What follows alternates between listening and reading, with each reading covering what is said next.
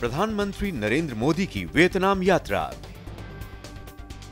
देखिए DD news के साथ पल पल की खबर और हर बड़ी खबर का सटीक विश्लेषण।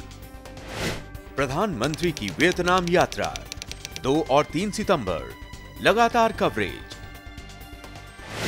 सिर्फ़ डीडी न्यूज़ पर।